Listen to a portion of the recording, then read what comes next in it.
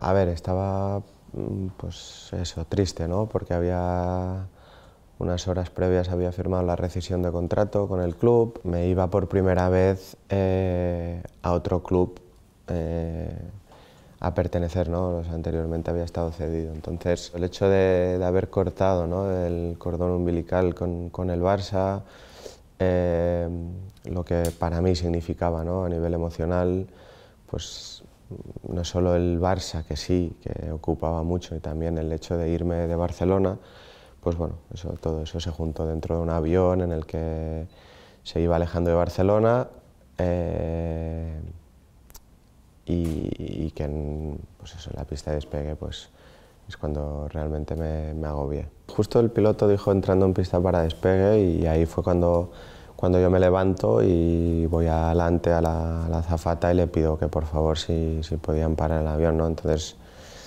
ella se extraña en ese momento, no entendía qué estaba pasando y, y en un primer momento me dice que no podía porque justo ya estábamos, ¿no? los motores ya estaban ahí a punto de... Pero bueno, me debió ver que realmente no estaba bien y, bueno, lo, lo, comunicó rápidamente y pararon. Entonces yo le llamo a mis padres de lo que había pasado, me vienen a buscar al aeropuerto y, y nada, voy a casa, eh, pues obviamente me tranquilizo, hablamos, comunicamos al club, eh, al Stowe, que pues eso, no le dijimos lo que pasó, dijimos que no, me acuerdo, que no había podido coger ese avión y tal, y, nada, buscamos al día siguiente. Entonces al día siguiente sí que viajé, pero viajé con mi padre eh, y viajé pues... Eh, sí, viajé. Yo cuando entro en el mundo profesional entro siendo muy joven, con 16 años, entonces hoy en día lo estamos viendo normal, pero en aquella época no, no era normal ¿no? que un chico tan joven pues, estuviera entrando ya eh, a tener protagonismo a nivel profesional y más en un club como el Barcelona. Entonces implicaba pues, una serie de, pues eso, de, adaptaciones, de, conocimientos. Eh, siempre he dicho que no pasó nada que, no fuera normal, sino que pues, ese niño se tenía que eh, familiarizar con, con, el mundo profesional. Ahora tengo, obviamente son muchos años en los que eh, todos estos profesionales me han dado las, herramientas necesarias para, para, poder conocerme, para poder autogestionarme, pero no es, no es algo que diga, no, ya lo sé todo, obviamente.